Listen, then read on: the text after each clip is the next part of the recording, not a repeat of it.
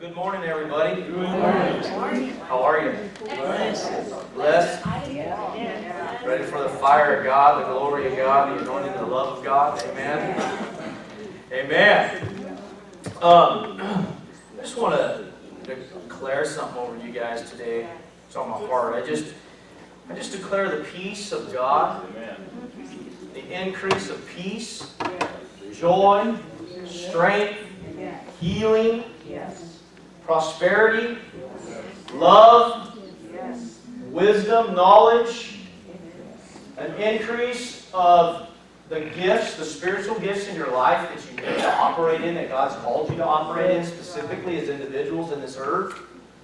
I just decree and declare increase of that. And I really believe it hooks up with what Dad just shared about the word he just gave about being still this week. I believe there'll be an increase of whatever it is the Lord wants. We hear that word increase and we think of money immediately, a lot of us. That's part of it. But I want to, you know, I want to increase in peace.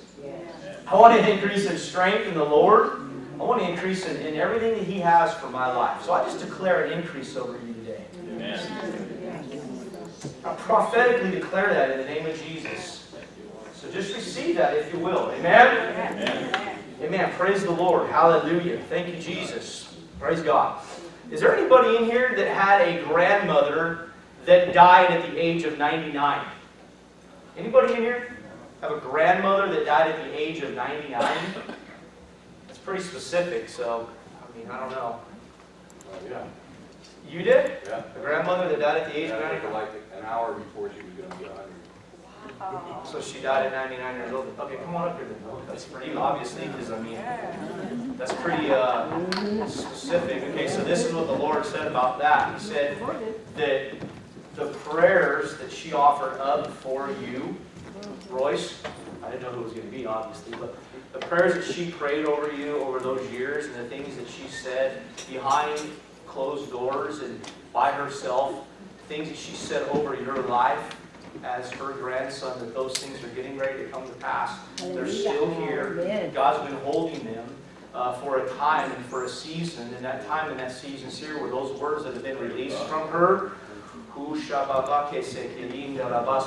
those times that have been, that, that you've gone through, those prayers have been held, and God is getting ready to release those right now into your life to function, to flourish. And it's not only for you, but they're going to be revealed to you. You're going to live in those prayers. You're going to have those things that she's declared over you, but also your family is going to partake of those prayers that have been prayed over you since you were a child in the name of Jesus. Now, I'm curious, how old were you when she passed away? Give or take, just ballpark you can't remember. My thirties. 30s, okay. Okay, that's a lot of prayer. Father, in the name of Jesus, I release that word right now. Thank you, Lord. Do what you will with that, Lord, right now in the name of Jesus. The Lord's going to give you insight on some of that.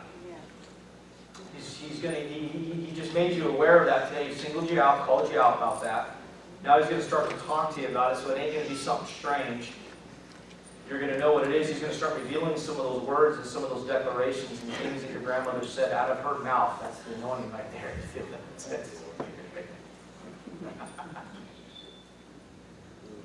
Thank you, Holy Spirit. Thank you. He's going to start revealing that stuff to you, and then you're going to be able to walk in it.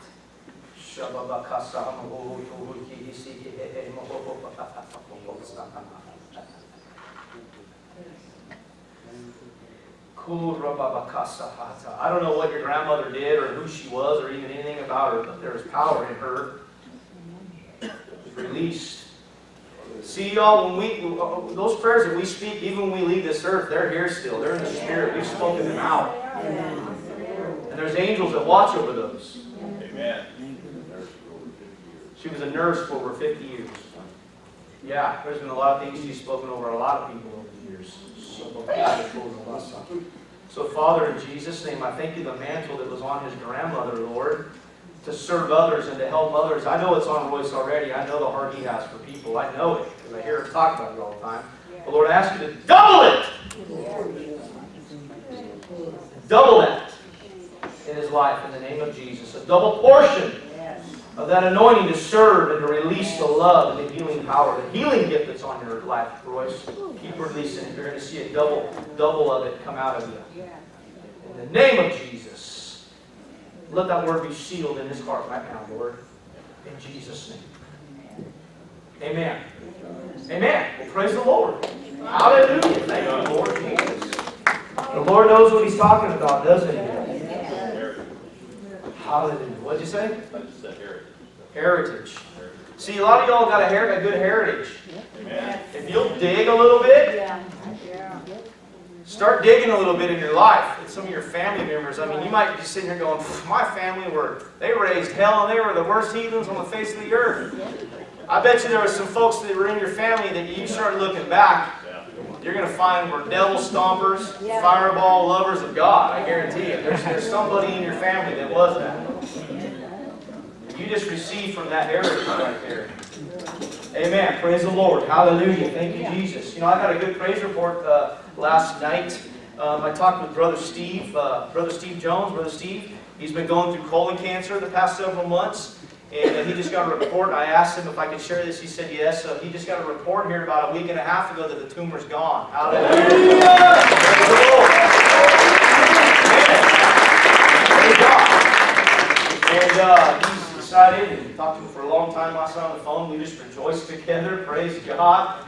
And uh, he's uh, coming out, coming out, coming, coming to the end of all this. Jump. Amen. And uh, so I know how he feels right now. It's a good feeling to come to the end of that. Praise God. So just wanted to share that with you guys and just keep continuing to pray for him. And he wanted me to say he loves his church family to tell you guys that. Thanks for praying for him and all that. And uh, good things are happening though. Amen. Amen. Praise the Lord. Turn over to Ephesians chapter 2. Hallelujah. Praise God. You got to be wild and crazy to come to church on Sunday morning to this church. Amen. Crazy for God. Hallelujah. See, this is a this is a church here that that uh, you know if you're wanting to do your own thing all the time, you ain't gonna last very long in a church like this because the Holy Spirit. Because I know, man, growing up as a kid, he used to kick my behind every Sunday, man, when I was out doing what I wanted to do. And the conviction of God would just come on me, man, and and uh, whew, you know. So finally, I got right and grew up. Amen. But if you're doing the devil's work, this ain't an easy church to go to. Because there's angels and the atmosphere the Holy Spirit's here, the atmosphere of God's here, the presence of God's here. I've talked to people that are sitting in this place right now that said, I didn't want to come here because I knew I wasn't living right and it just did not feel good. I was not comfortable here when I would come. But now they're here, praise God, they're comfortable, the things of God moving, God moving in their lives, amen. So this is a good place to be this morning. Hallelujah. Presence of the Lord. Thank you, Lord, for your presence. Thank you, Lord, for your presence. Hallelujah. Thank you, Lord. Amen. Lord. Amen. Praise the Lord. All right. I want to talk a little bit about something this morning. I don't know. We'll see how long see how long I go, or how long, or how this goes, or whatever. I just have a few things on my heart, and if I'm done, I'm done. If I'm not, I'm not. But we'll just let the Lord do what He wants to do. Amen. Here recently, the Lord has been um, uh, taking me back to uh, 2008 in my life. And 2008 is when I went through leukemia. Start of uh, 2008, diagnosed in January, uh, totally healed in October of that year. So, season of my life that I went through, and the Lord's been taking me back to that year, and not not to uh, regurgitate, you know, or bring back up the misery and the, the pain and the different stuff that I went through and all that junk that I went that went on. Not to do that, but to to He's been bringing me back to a lot of the writings and a lot of the notes and a lot of the stuff that I wrote down during that year while I was going through that trial, that test, that, that storm. And uh, I haven't pulled a lot of that stuff out in a long, long time. I really haven't looked over a lot of that stuff, but he's, uh, he, he's been taking me back into that here the past week or so. And I've been going over some of these notes and some of these dreams and some of these visions and some of these words that the Lord had for me during that time in 2008. And man, they're just they've just been really blessing me and just just rocking my world, man, to be honest with you. And um, there was a lot of stuff that I learned through that, that process. There was a lot of stuff I learned uh, concerning fear. Uh, there was a lot of stuff I learned concerning my mouth. There was a lot of stuff I learned concerning my heart attitude and, and uh, the way that I looked at individuals and people and the way that I looked at myself. And uh, just some of this stuff God's been bringing back to me to have me look over. And today I want to talk a little bit about being spiritually healthy and being naturally healthy. That's a good one, isn't it? I'm glad you guys are excited about that. If you need to leave now, see ya. But if you don't, stay. Amen? Down the ice cream. Put down the ice cream. That's, that's the natural. We'll get into that later, brother. But that's hard to do, man. Somebody saw my picture the other day as a superior dairy. Oh my gosh. I got I ordered a hot fudge sundae. I knew it was going to be big, but I didn't care. I was going to try to polish it off, but it didn't work. But that's that thing was about that tall, man. One scoop, I'm like, well, there's like 12 scoops in this thing. Hot, and they give you just a little cup of hot, hot fudge. I'm like, man, that's not even going to come close to covering this mountain I'm getting ready to climb. You know what I mean? I almost finished it. Then I got woke up at 4 in the morning for some odd reason. I don't know what, but anyways, we won't get into that. It almost finished me. But being spiritually healthy and being naturally healthy. Amen? So let's look here at Ephesians chapter 2. It says here in verse 1, And you he made alive, and you, he says you, you, you qualify for this. Yeah. And you he made alive who were dead in trespasses and sins, in which you once walked according to the course of this world, according to the prince of the power of the air, the spirit who now works in the sons of disobedience. Who's the prince and power of the air? Satan, the devil. All right? So, works in the sons of disobedience. Verse 3 Among whom also we all once conducted ourselves in the lust of, the, of our flesh, fulfilling the desires of the flesh and of the mind, and were by nature children of wrath, just as the others. But God, verse 4, hallelujah. But God, who is rich in mercy, because of his great love with which he loved us, even when we were dead in trespasses, made us alive together with Christ. By grace you have been saved. Hallelujah. Even when we were in our trespasses, even when we were doing what we wanted to do, even when we were the sons of disobedience, he still had mercy. He still had love. He still had grace. He was still setting us up to come into the kingdom. Amen. Come on, somebody. Amen. If you're born again in this place and you're saved, that means you're a child of God. That means that you've come out of that son of, you, you're not that son of disobedience anymore. That you've come out of the, the, the, the being the, the child of the prince and the power of the air, which is Satan. You've come out of that because of God's rich mercy. And then it goes on to say that He's raised us up to sit together in heavenly places in Christ Jesus. He's brought us together with His Son, Jesus Christ. God. You got to see yourself as a child of God. Well, I already do, Pastor Mike. You got to see yourself in Christ and Christ in you. The Bible says that it's Christ in us, it's the hope, it's the glory. Hallelujah. Amen. He's in you. You're not a broken, beaten, disgusting person in the sight of God. That is not you. That's right. Amen. Well, I know that, Pastor Mike, but some of us look at ourselves like that, and that's not you. Amen. Does God make junk? No. No. no. He makes beautiful sons and daughters. That's who you are. And a lot of this torment in your life, uh, the next step for us, listen, for some of us, is allowing the Lord to love us. Yes. I'll tell you, you know, this is the truth sometimes. We are our own worst critics. Right. Yes, we are. The devil don't, won't, won't use people. He'll use us to destroy ourselves just by bashing us with our own words that we say over ourselves. I've been guilty of that so many times. Mike, you're a moron. Quit being an idiot. You're stupid. Stop that. Why am I such an idiot? You know, we say stuff like that over ourselves. And you might be sitting there saying, well, I don't. Well, good for you. I'm glad, man. But some of us do. And we destroy ourselves by speaking over ourselves. We've got to, as the body of Christ, see ourselves seated together in heavenly places in Christ Jesus. When we gave our life to Christ, He came in, on the inside of us as we stepped into the inside of Him. Our spirit man, who we are really on the inside. Not this earthly, fleshly uh, birthday suit that we have. It's going back to dust. It's going back to the dirt of the earth. But when we leave here, who we are on the inside, that's who the Lord sees us as. Amen. He doesn't pound on us in our imperfections. He loves us even when we aren't perfect. Because He knows we're not. There was at least twice yesterday that I had to repent and say, I'm sorry for my attitude. Even me. Can you believe that? I know Dad can believe it. Some of you even see me in that attitude. It ain't pretty sometimes.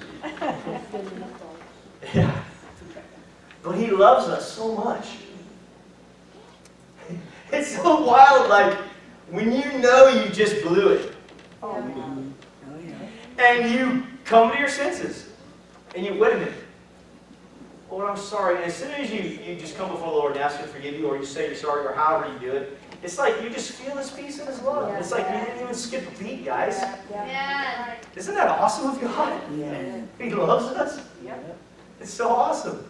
And see, I don't ever worry about, you know, making a bunch of mistakes, all this kind of stuff, because I know that the closer I get to the Lord, the more that that junk of, of, of my, my humanity and, and different hang-ups and things like that, they all begin to subside and leave because He cuts those things out of our lives as we get closer to Him. And I think a lot of it just comes with maturity as well. I believe that too. Amen? So God's good. He loves us. So He says here, verse 4, But God, who is rich in mercy, because of His great love with which He loved us, even when we were dead in trespasses, He made us alive together with Christ. By grace you've been saved. Now, verse 6. And raised us up together and made us sit together. See, He didn't ask us, He made us. Yeah. He didn't say, Will you come sit with Jesus? No! He said, And made us sit together in the heavenly places in Christ Jesus. We are to rule and reign on this earth, guys. Jesus rules and reigns on over this earth. We are in Him, He is in us. I'm not saying we're Jesus. I'm not saying we're ever going to be Jesus, but I'm saying Jesus lives on the inside of us. Amen. And we can be like Jesus. We can. We can love like Him. We can heal like He did. We can raise the dead like He did. We can lead people to the, His love like He did. We can do that. See, it's a time for harvesting. See, during the harvest season, some of you guys have been around farms and worked, and I've had a lot. I have a lot of friends that are farmers' kids and things like that, and I've heard stories. But when it's harvest season, there ain't no time for complaining or dilly and dallying around. It's time to work. Amen. And from what I hear, these dudes work seven days a week, sun up to sun down, and even then some. I was talking to one the other day about that. There's no time for complaining or goofing around. It's work time. That's what I feel like we're at right now as a body of Christ. It's time to work. It's time to harvest. There's so many, there's so many people out there to pick. So many. Just on Saturday, man, just myself. See, I'm, I'm, I'm learning how to look for it, man, because it's out there. I mean, it really is. You can see it, man. And if you'll just listen, not everybody I look at, I go talk to or pray for or anything like that. But I've just been, I, I try to look at people and I try to see them in the Spirit. I've been trying to train myself to see people by the Spirit. What's around them, what's going on with them. And learn to listen to the Holy Spirit because He will give you nuggets about people to where it will change their life forever and they'll pull them out of hell and put them into heaven. Amen. You know, and just by, I mean, I'm not saying you got to go over and hit them over the head with your Bible and make them get saved. That's not what I'm saying. There'll be a time where God will use you just to water in their life, to love on, and then there'll be a time down the road where someone will pull them into the kingdom. I know that works like that sometimes. I know not everybody is responsive to what you have for them or whatever. But I will tell you, 99.9% of the time, people will respond to your kindness and to your love. I can guarantee you that. You know, I come down here Saturday, and um, I deal with a lot of the guys that sleep on our back porch and that, that, are back there a lot. I deal with them two or three times a week, and um, I've took a different approach. Because before I used to be like, dude, you're destroying us back here. Can you go somewhere else and have a bad attitude? But I took a different approach, not every time, but a lot of the time. I already had an attitude before I got out the door. But I've been taking a different approach with that here the past couple months. And uh, I've been going out there and seeing what they needed, man. How can I help you and all this kind of stuff. And God's been so awesome because I've been getting all these words of knowledges for these guys and all this stuff has just been changing them. And, and I've never led any of them to Christ yet, but it's like some of them are born again. They received Christ when they were younger and stuff. But I've been able to lo- lo- love them and let the love of the Lord come upon them, man. And Saturday was an example. I got here and I had to throw some stuff away in the dumpster and I put some stuff in there and there was a guy and I, and I know the guy's been around here for a long time. I knew, I knew his name and, and uh, he was asleep back there. And I said, hey! I yelled at him. Whoa, whoa, whoa. I said, what's going on, Mark? Oh, what's up, Mike? What's up, brother? You know, all this kind of stuff. I said, how you doing, man? You all right? Because I didn't know, because sometimes you got to make sure they're still alive. Their heart's ticking, you know? We found people back there before. So you got to make sure, you know, this dude wasn't moving, and I was making a bunch of noise. You know, picking trash and slamming the tailgate down and all this kind of stuff, you know. And he wasn't moving. I thought, oh, so. But he woke up, he was all right. I asked him how he was doing. You okay? Yeah, yeah. I said, hey, man, I got a big box of chips right here that I was going to go throw out the front, but uh, here you go, man. Um, take, take what you want before I stick it out. If you want them all, take them all, whatever. It doesn't matter. Oh, man. And he, I mean, he was grabbing those chips, man. I got some friends over here. Can I take some more? I got some friends over here that I know need some food the other day. Blah. I said, yeah, man, take, take whatever you want. But guys, I'll tell you right now, he looked like a kid on Christmas morning, man. And I said, Mark, he just kept thanking me over and over again. Thanks. I said, hey, I said, listen, man, uh, thank Jesus. Oh, yeah, for sure. I thank Jesus. I go, no, thank Jesus for this stuff because it's him. It's not me. It's just, I just love Jesus and I love you and all this kind of stuff. We got to talking for a little while and I just got to tell him how much I love him and care for him. And, Amen. and uh, you know, just I reiterated to him again because I had talked to him before about how much Jesus really loves him.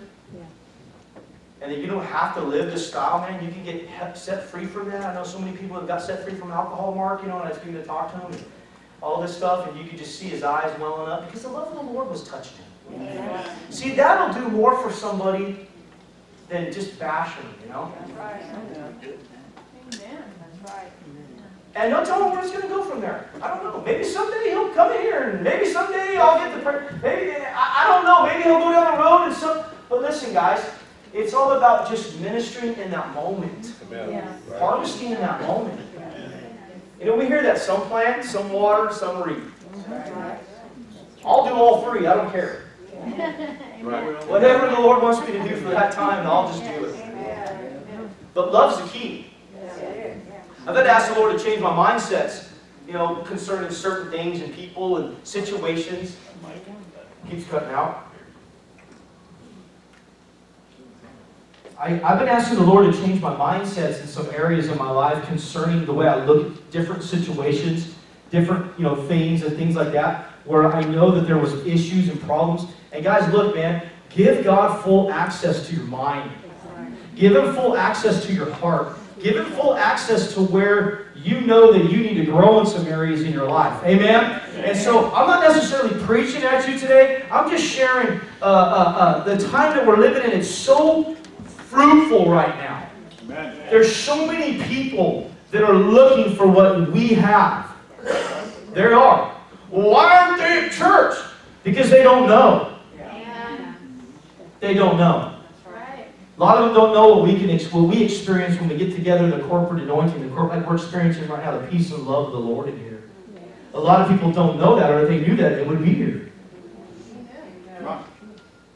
But I know the harvest is coming in. We're harvesters. It's time to harvest. It's time. It's time to get to work, man. It's time to get to work. Listen, now I'm going to say this because the Lord said this to me a, a good, good while back. And I've really taken it to heart and I've really asked the Lord to help me with this. But some of y'all got to get over yourself.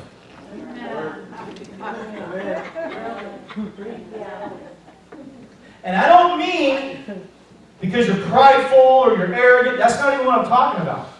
What I'm talking about is you've got to quit looking at yourself like you are nobody and you can't do nothing about it, or you have some kind of reputation, or you don't want people to think you're dumb or weird or dorky or whatever the word is you want to use. Get over that. Because you're going to have some that love you and you're going to have some that hate you. That's just what the word says, right? You don't get mad at the ones that hate you, you bless the ones that hate you. Because they're hurting themselves, not you. But you you you gotta get over, you know, well, I've got to maintain some deal. No, you don't. They know you're a Jesus freak already anyhow. They know you're different from the, the normal. That's right. That's right. They know that already. And that's okay. I Larry Huggins tell me that one time, man. It's been probably about seven or eight years ago. He said, Mike, get over yourself, man. And at first, I didn't, I didn't understand that at first.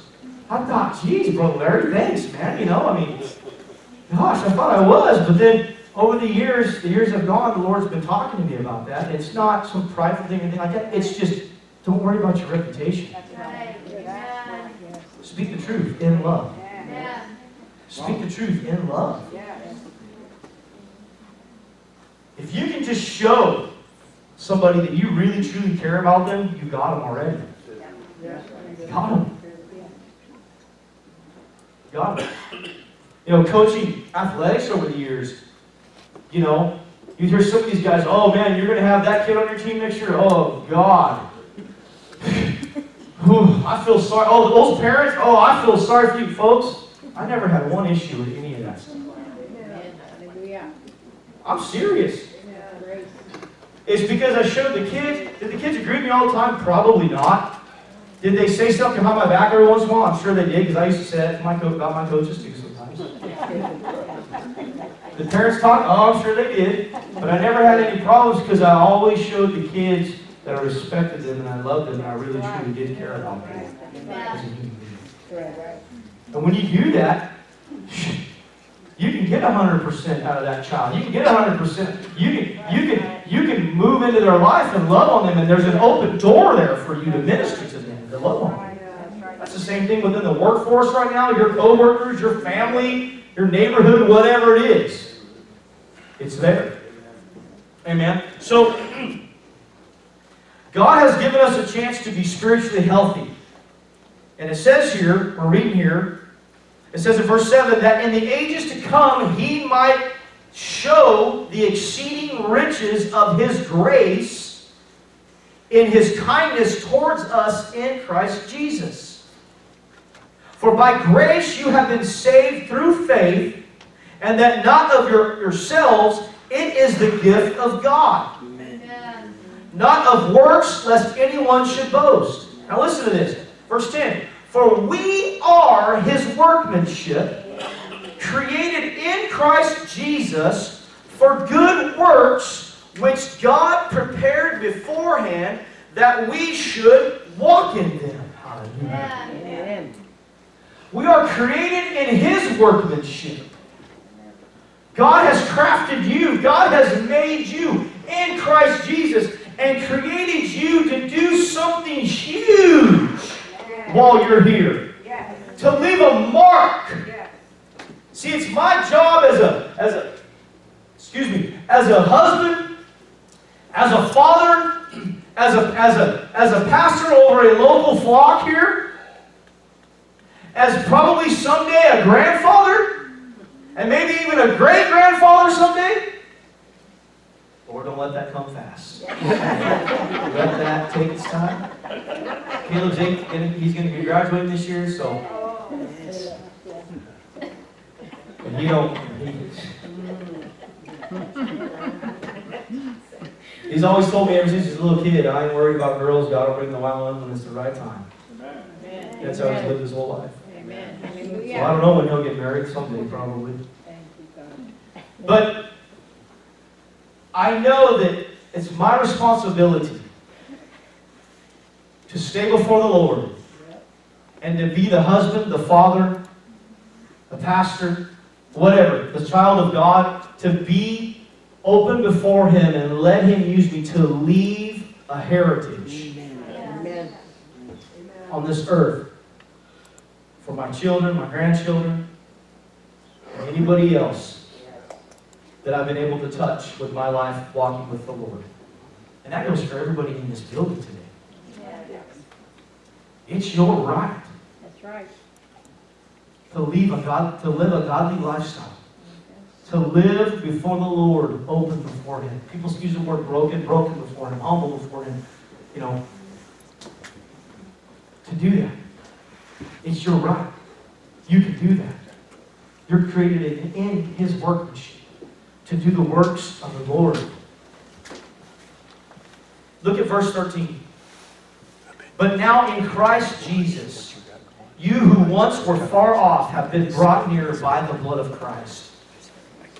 For he himself is our peace above, who has made both one and has broken down the middle wall of separation, having abolished in his flesh the enmity that is the law of commandments contained in ordinances, so as to create in himself one new man from the two, thus making peace.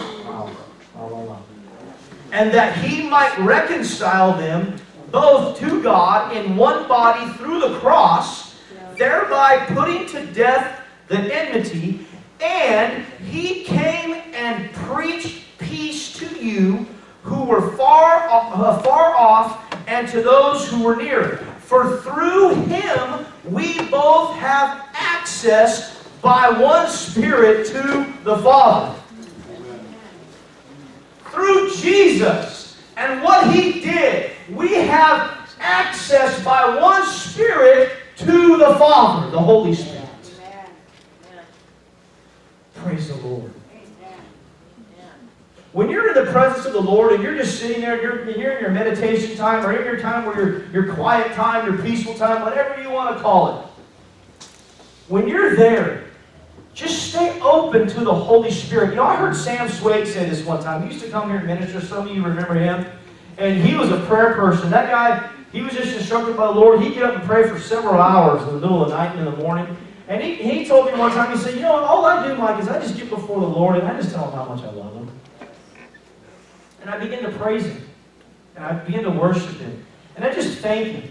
And as I do that, he leads me the way that he needs to lead me concerning that prayer or that meditation or, that, or even that quiet time that day. It's so huge what Dad said earlier about this week, just be quiet. I've gotten more just being quiet than I have saying the best prayers, feeling the Holy Ghost the strongest I've ever felt it before. I've gotten more done just by sitting there in His peace. There's something about that. There's something about that. Especially people like with my personality. It's always got something cooking, always got something going, always wanting to do something, figure something out, blah, blah. It's the best thing for me to do is just to sit and be still. Just be quiet. It brings rest.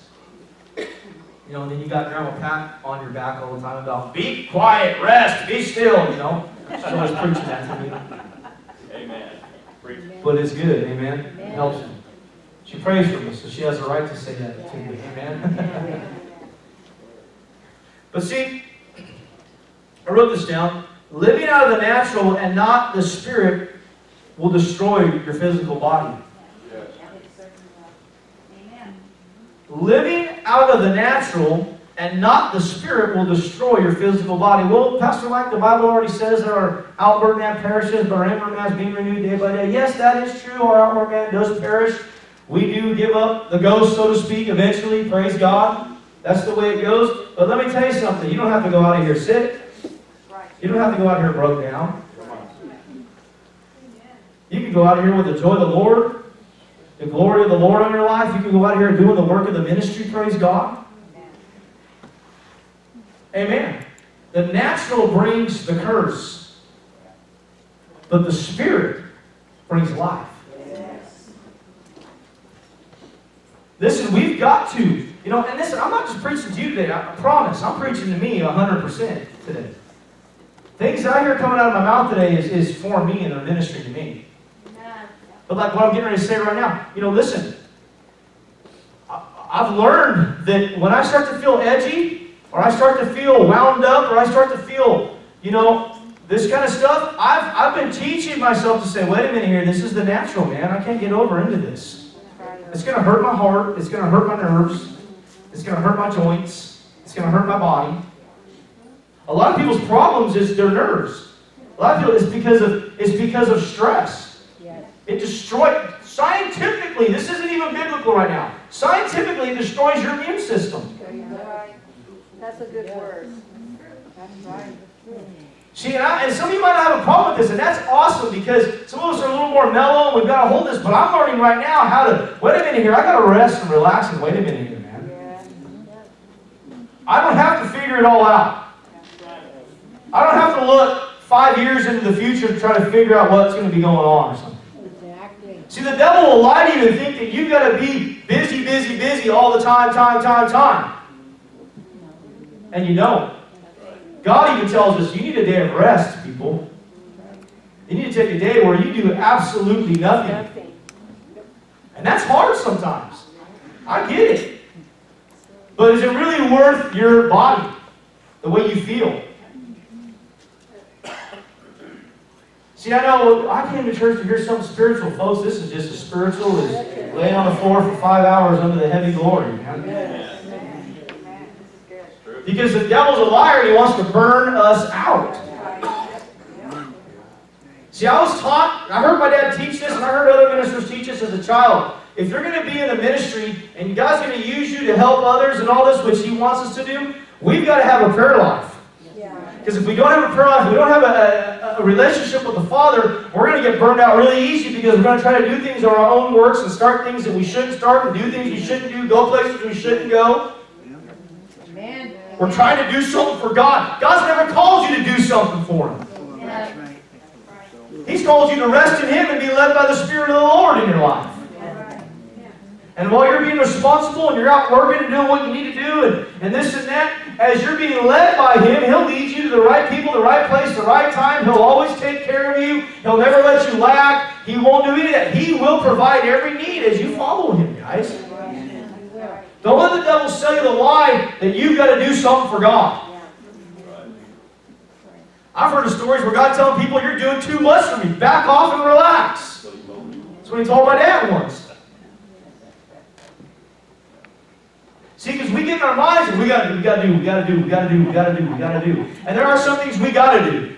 You need to brush your teeth in the morning. You need to put deodorant on. You know, you need to take a shower if you can. You know, you need to, you need to eat. You know, there's things we've got to do.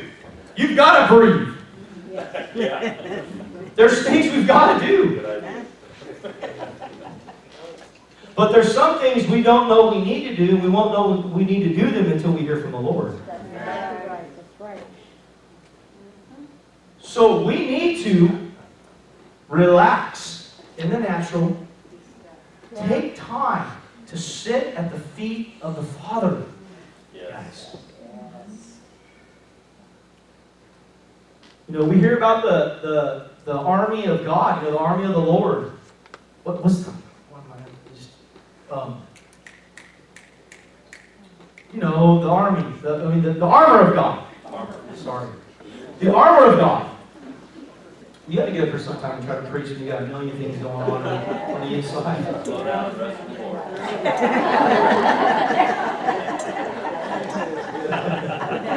You're right. I'm sure I am. I'm trying. But we hear about the armor of the Lord there in Ephesians. See, some of us think, well, we got to put those things on. We got, to, you know, listen. You get those things put on you when you're resting in the presence of the Father, man. He starts to teach you about peace. He starts to teach you about the gospel. He starts to teach you about faith. He teaches you about all this kind of stuff. See, God will give to you what you need. He knows what you need at that moment. That's why we don't ever have to worry about messing up, making a mistake. Oh no, you. God's going to take care of us, guys. For listening to Him, He'll, he'll minister to us. He'll lead us. He'll warn you about something if He needs to warn you about it. Yeah, yeah, yeah. You know what? This is what's so cool about God is He'll have you say something to somebody that you don't even know that you're even saying something huge to them. Yeah, That's true. right. Right. This morning I was talking to somebody and I said something out of my mouth this, today to this person that was a double witness to them that they needed to do something about a situation and I had no idea. I was just saying it. Amen. Amen. Amen. It confirms something for them that's going to help them. So, see, we just stay open to the Lord, man, and not have to worry about knowing everything all the time, man. You'll know what you need to know when you need to know it. That's exactly right. Hallelujah. Praise God. What does that sound like? That sounds like full reliance on the Father, is what it sounds like to me. Amen. Amen. So, I wrote this down. Keep your heart. We talk about the heart a lot. You know, I'm not just talking about the physical heart so much. Of course, we have that, but but the heart of the Lord. What's in your heart concerning the Lord and what He wants you to do? Keep your heart healthy by walking in the love of the Lord. You can keep your natural heart healthy and your spiritual heart healthy by walking in love.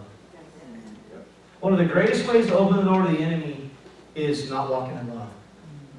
He won't knock. Can I come in and mess with you? He will pounce. Yeah. What did he say to what did he say to Cain? Sin sits at the door Yeah. and waits. Or the devil lies at the door and waits. And he waits to pounce. Now listen, I'll tell you and I'll be honest with you. No one in this building will be perfect concerning. Um, you will say something at some point about somebody or something like that that you shouldn't. Be very quick to repent about that when that happens and deal with that and cut it off right then. See, this is something that's very, very big. Very, very big. Because I'll tell you, it is easy. It is easy to say stuff about people. It's easy. We're emotional people. We have emotions. We see things we don't agree with and stuff like that. But listen, you know, you really know in here when you're saying something about something, you shouldn't be doing that. Listen to the Lord, repent, ask God to forgive you, and say, Lord, help me with this because I don't want to do this. So let those words fall to the ground, Lord. I don't want that. Proverbs 18 is a true scripture. Proverbs 18, 21. Yeah. Death and life are in your tongue. And you'll eat the fruit that you speak out of your tongue.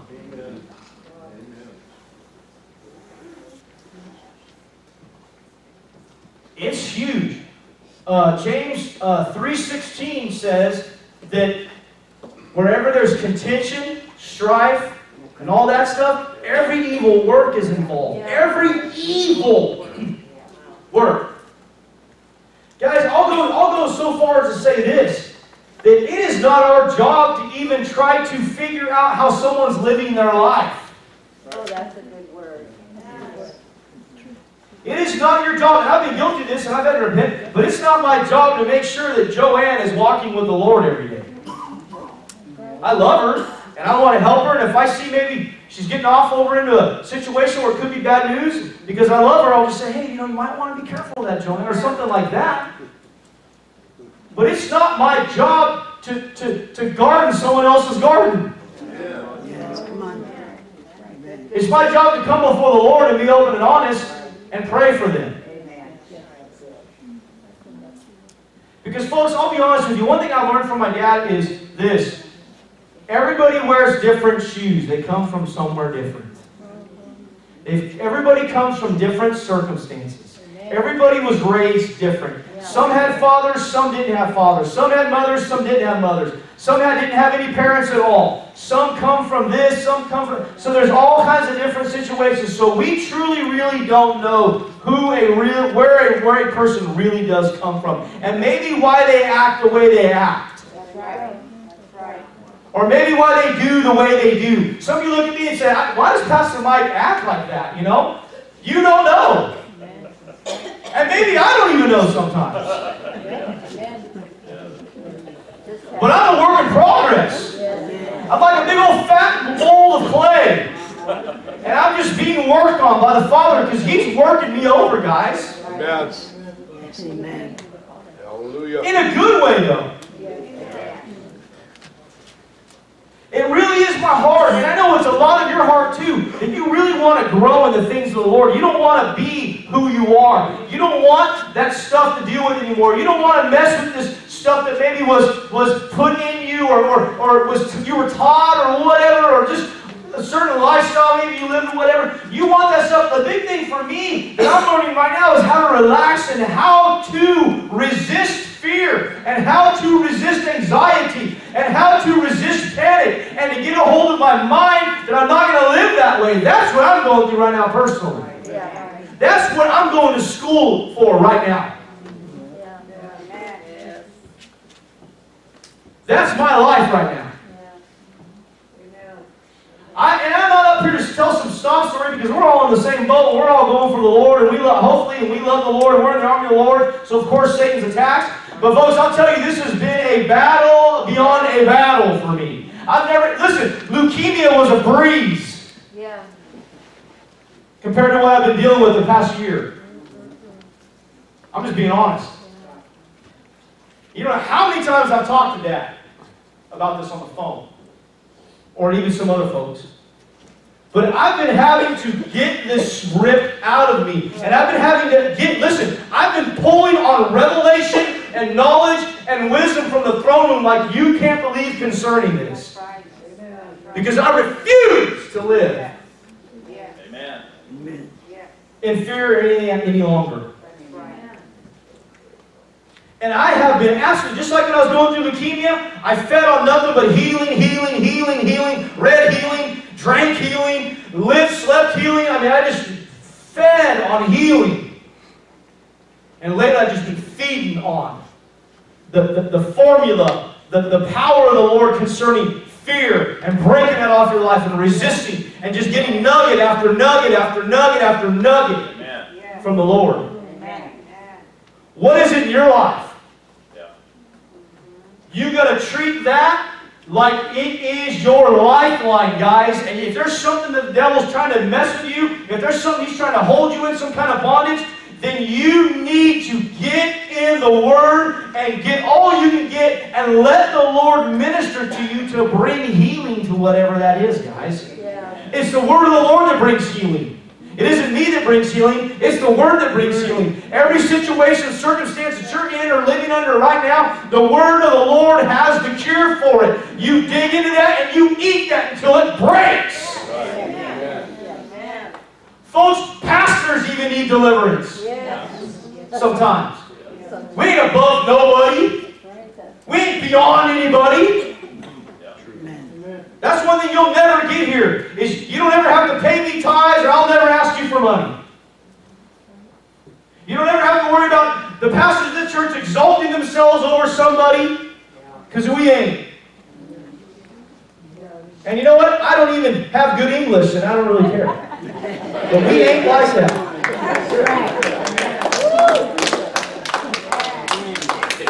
I didn't go to speech school to be a Christian, to be a preacher.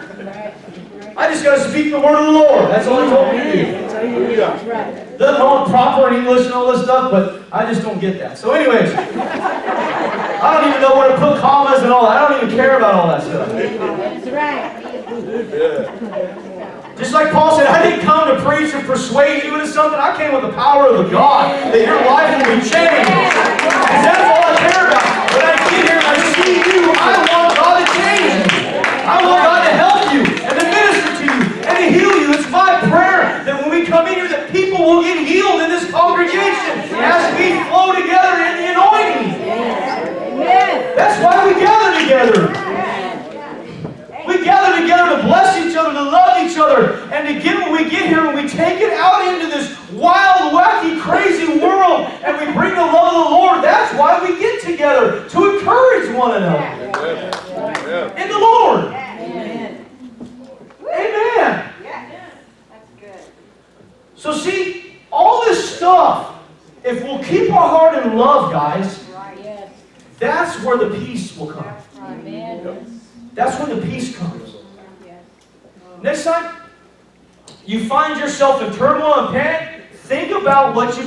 thinking about the last hour. That could be the cause of it.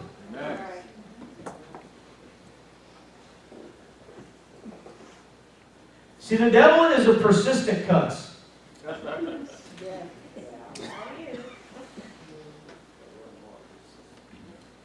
He needles and needles and needles. My brother's not here this morning, but I used to be so good at that with my brother. I used to just needle him. Any of y'all have little younger brothers or sisters? Remember that? You just needle them, man. It's so easy. And then when they would blow up, you know, they would get in trouble because they're the ones that would act out, right? Michael, what are you doing? I didn't do anything. It's him. That's not me. He's just mad, I guess.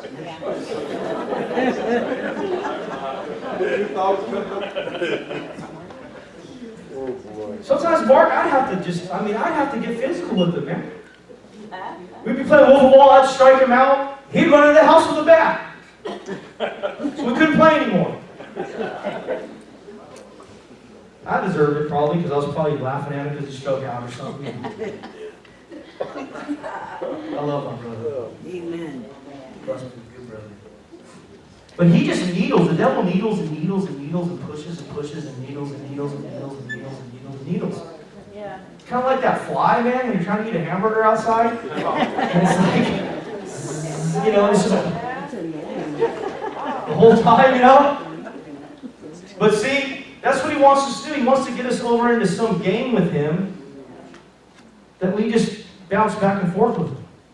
What we need to do is kick him out. And I'll tell you, I've even scared my family lately. Not on purpose, but just out of nowhere, I'll just, in the name of Jesus, and I'll, and I'll be violent about it. I won't be, yeah, well, just, you know, please leave my mind alone. It Doesn't work. Sometimes you gotta be violent. Yeah. Violent in spirit.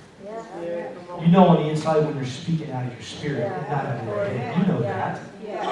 There's a difference between wanting to punch someone in the face out of your head when there is you want to punch someone, you want to punch the devil in the face out of your spirit. Two different things. Yeah. You know it. You rise up in the authority of the name of Jesus Christ. Cast him out. Those thoughts, Yeah. Lord is for my dad. Those thoughts, you cast them out in Jesus' name. And I'll say it. I'll say it right where I'm at. I don't care. I mean, I'll be quiet about it if I'm in a public place or something. I'm not going to, you know, have the cops show up because I'm screaming at the devil or something. Goofy like that. Local pastor screaming at the devil in the DMV. 10 out of 10, you know? Something like that. But, but there's times where you just got to shut your mouth in the name of Jesus Christ. You will not. You know, yesterday, or two days ago, I was listening to Brother Hagin. He was preaching on resisting the devil. I've listened to this sermon two or three times in the past couple of days. It's ministered to me so much. You know, some of these some of these guys, we need to pull them out and listen to them. Yeah. Oh, yeah. They got wisdom beyond. And I was listening to him, and as I was listening to him, I heard the Lord speak to me. He said, Write this down. So I grabbed a little three by five card and I began to write. And this is what I wrote. I wrote, I resist doubt and I resist fear. Devil, you will not rob me of my love, joy, and peace. Galatians 5.22. Amen. That's the scripture I'm standing on. Fruit of the Spirit. Galatians 5.22, the first three fruits are love, joy, and peace. That's my ammo. God gave that to me. And this weekend has been so peaceful. Every time the devil's been trying to mess with my mind about something, oh, there's a pain in your body, there's this, is leukemia coming back? Do you have something worse? Is, oh, come on, guys. Right, right. Devil, I resist you. On. Shut your mouth. You will not take my love, joy, and peace. You will not rob me. He backs off. He has to. Amen. And you do it until you get the victory. You do it until he shuts up. You do it until He leaves you alone. And I'm going to tell you right now that you will come out of where you're at and you will grow in the things of the Lord concerning fear or whatever it is. You'll grow and that stuff will subside and leave you. Amen. Because it's the Word of God that brings the healing. It's the Word of God that takes, it's the axe that goes right to that root and cuts it out. John chapter 15. Read that. Amen. Amen. But listen, a lot of times we allow that into our life because of what we're saying, what we're thinking about. The Bible says, take no thought saying. You're going to have thoughts. You will have thoughts of fear. You'll have thoughts of doubt. You'll have this stuff come to you. But what do you do with them when they come to you? That's, that's where the rubber meets the road. And we've got to train ourselves because a lot of us, including myself, we've allowed those thoughts and we've entertained those thoughts over and over and over and over. I'm just as guilty as that as the day is long. Over and over and over again. But now I'm realizing, I'm realizing, do I want to live the way I'm living now or do I want to grow and have this stuff ripped out of my life? That's the point I've come to in my life. And I want this stuff ripped out of my life. Because it does nothing for me. The Bible says, don't worry, don't be anxious, don't get over into that. I'm your father, I'll take care of you. I feed the birds, I take care of everything on this earth. Yes, Just amen. get over into me. Rest and relax in me. Praise the Lord. Amen. Hallelujah. Thank you, Lord. The only way to maintain a life of spiritual health and natural health is to walk totally and completely in love. Love is the answer. Love is the answer. Amen. Right. Hmm. When you walk in love, you are giving yourself to God, and He is able to do in your life what He is supposed to do. The two things that will bring health or death, the two things that will bring health or death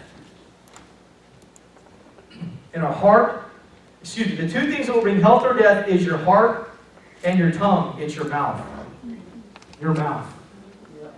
Your mouth, your heart attitude, your mouth. Whatever in your mouth, what does it say? What does the Bible say? When the abundance of the heart, the mouth will speak. Whatever is in your heart will come out of your mouth.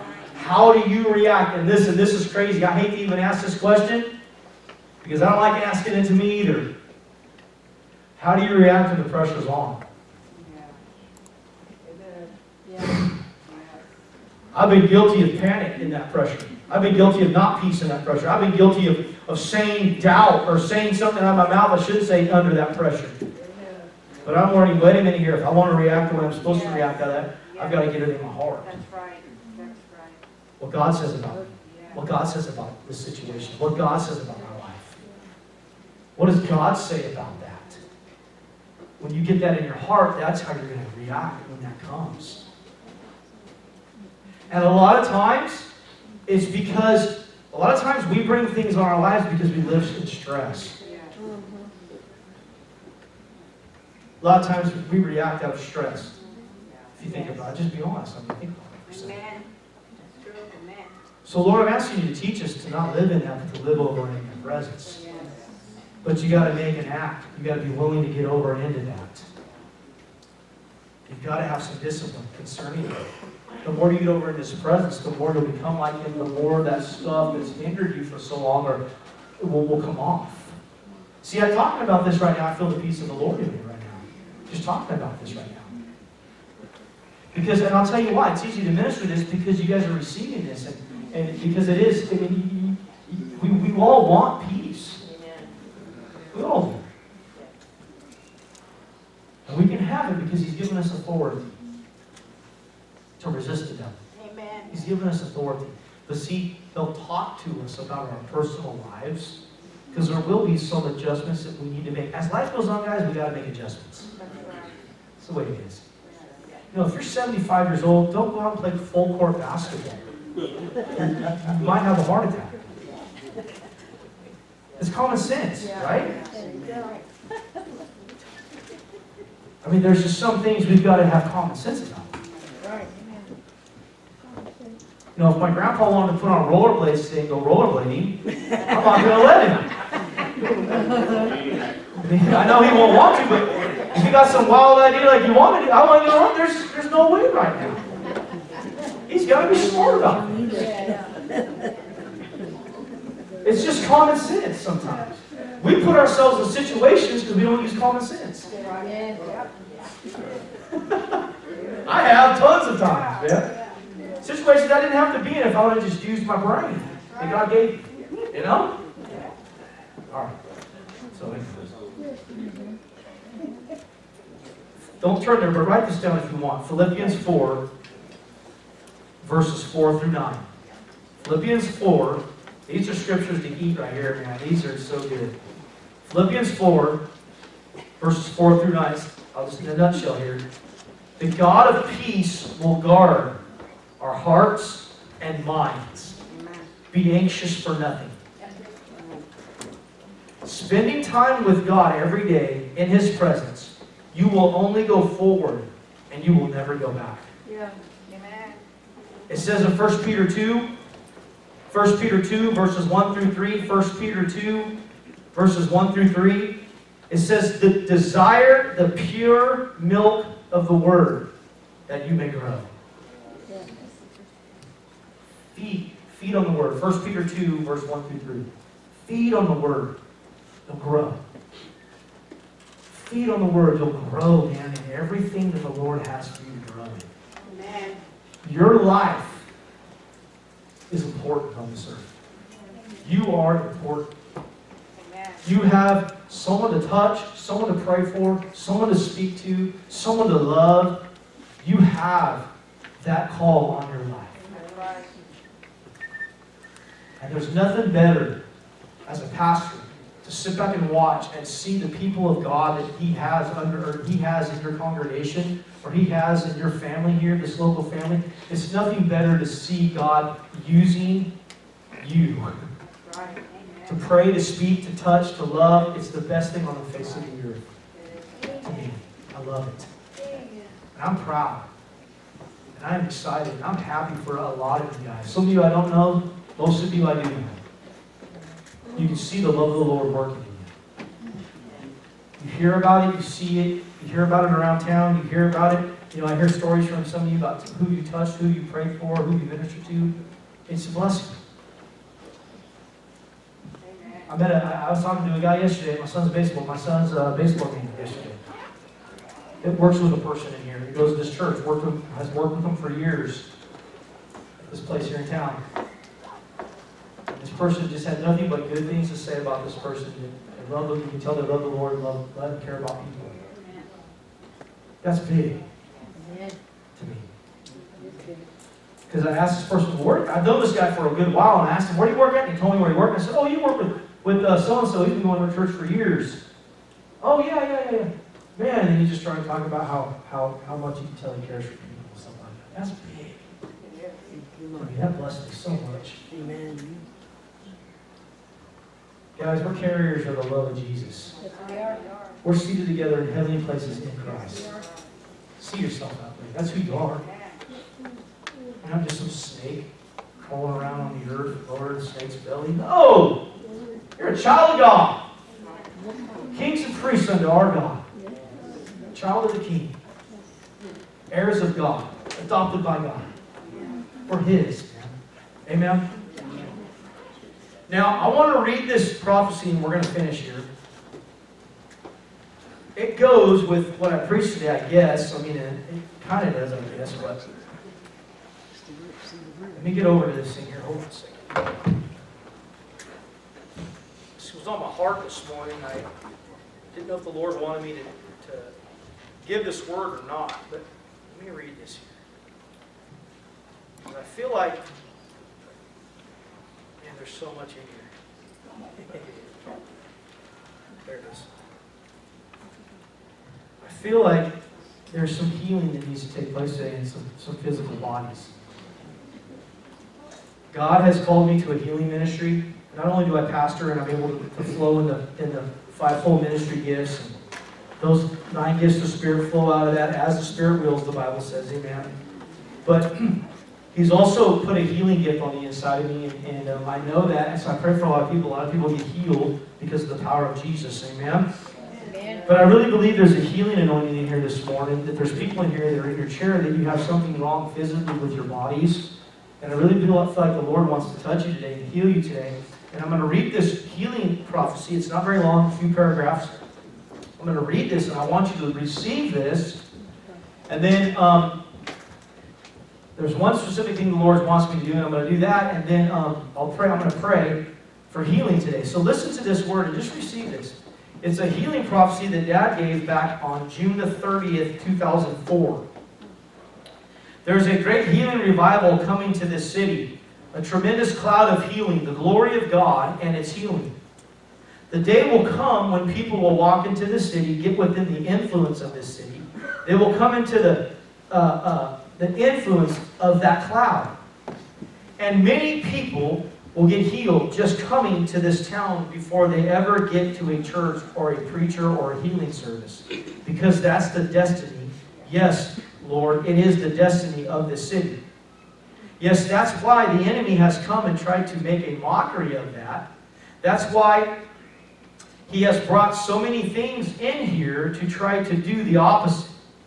For when people move here, they get sick or their lives get torn apart.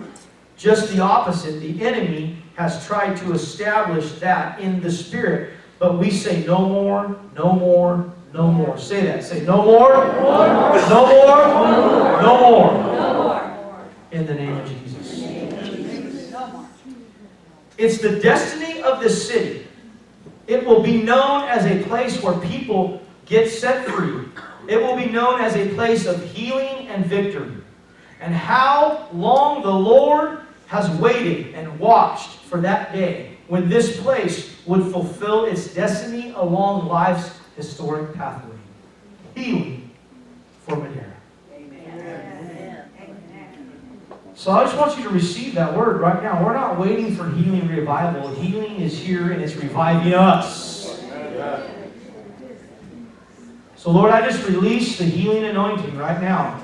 I believe that there is a glory cloud over this place right now of healing, Lord.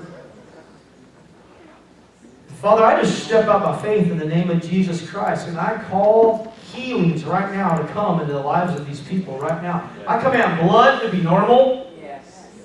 I command people's blood to be healed and whole right now in the name of Jesus. Command ears to pop and to be healed. I command teeth to be restored. I command heart issues and valves to open and for blood to flow the way it's supposed to right now in the name of Jesus. I command popping in someone's shoulder to stop now. Let it go right now. And I command that shoulder to be whole and healed right now in the name of Jesus. We don't live under the curse, we live under the blessing. We live in healing in the name of Jesus. John 10 10, the devil comes to steal, kill, and destroy, but God comes to give life. That's the kingdom we live in, life. So sickness and disease, loose these people in Jesus' name. In Jesus' name. In Jesus' name. In Jesus' name. Now, some of you that are sitting there right there, start testing something out. If there was something that was hurting you or hindering you, I want you to start testing that out, seeing what's going on with that. Now, Grandma Pat, I want you to stand up because I want to pray for your hip. And I know about this because you told me about it already. Which one was it? Right one? Father, in the name of Jesus, right now, I lay my hands right now on her hip. I release the healing anointing now. I call bursitis by its name and I cast you out in Jesus' name. Get out of her body. Right now in Jesus' name. And I command this hip to function normal right now. There it is, right there. Just came out of me right there. In Jesus' name. In Jesus' name. In Jesus' name. Now walk. Start doing something by faith. In Jesus' name. Be free, be free, be free, be free, be free. Be free, be free, be free in Jesus' name. I command you to loosen up. I command you to loosen up. In Jesus' name. We don't live with bursitis. We don't live with arthritis. We call it by name and we tell it, tell it to get out. Jesus' name. Now, has there been any kind of change physically at all? Okay? All right. Father, in the name of Jesus.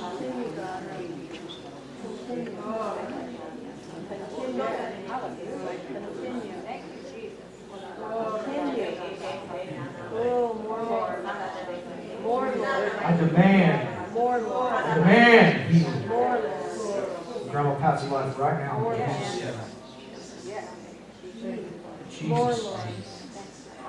Jesus' name, Jesus' name, in the name of Jesus Christ. In the name of Jesus. Now you will see, you will see, you will see because of your faith and the love of the Lord for you, you'll see this will leave. It will leave and it will never come back. It will leave and it will never come back. Because I know that you know the word, you're doing what you know you need to do. But there was just something about praying for you today, the Lord just wanted me to do that in the name of Jesus. In the name of Jesus. In the name of Jesus. Now, now let me ask you this: Who in here was having pain in their body? You checked something and something changed. Just lift your hand, slip it up in the air. Brother Mike, you? Anybody else? CJ, you, you, you, sister, all right, you, sister, all right. Now, well, if you could share, what was it? Well, my shoulder's been bothering me. Shoulder, right shoulder. Uh, Sometimes couldn't get this far. Praise God. No pain? Did I say right shoulder, did I just say shoulder? Okay, because I knew it was right, inside me. but- Also, I have a heart murmur and I'm going for an echo this next Saturday. So the heart and the shoulder got called out. So you're just getting pretty much an overhaul right now, it sounds like. Well, I command the heart to be healed. in Jesus' name. I'm just putting my hand on the heart in the name of Jesus. Wait, this is. I'm facing so. Father, in Jesus' name, now, thank you. Command his heart to be healed and restored, restored, restored, restored, restored, restored, restoration, clean bill of health. In the name of Jesus. Amen. Amen, brother. That's cool. See, your whole shoulder got healed, so now you know that your heart will be healed because that's how Jesus does it.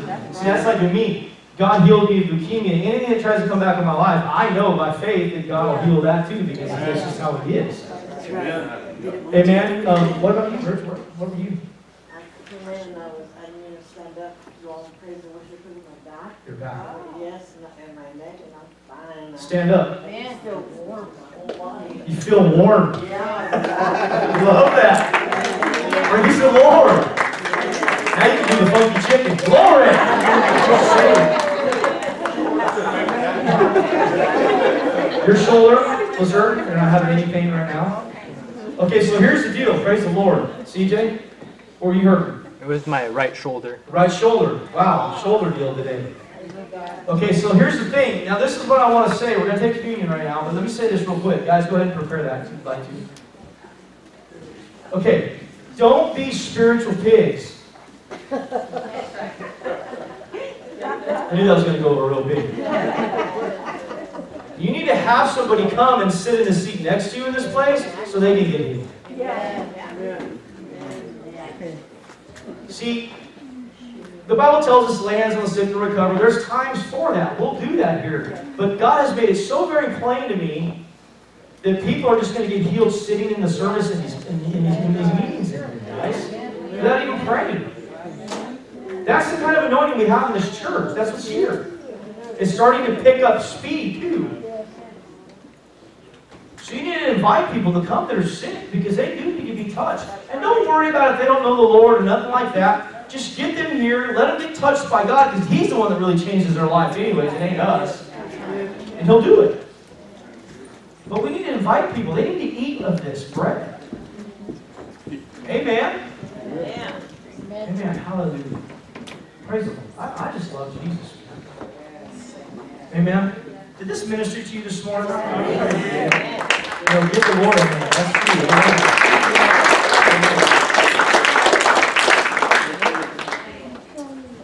Thank you.